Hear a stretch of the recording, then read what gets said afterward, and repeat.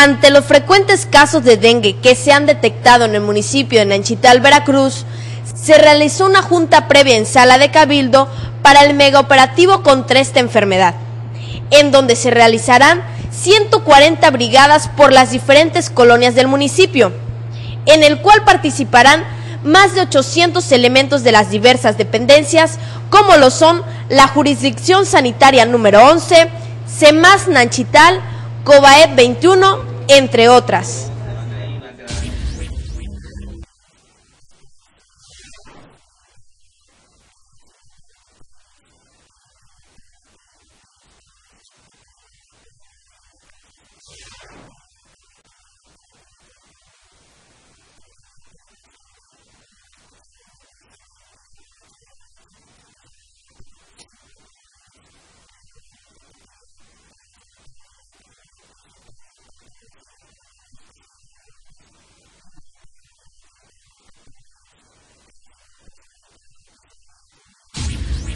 Para TBS Noticias, tvsureste.com,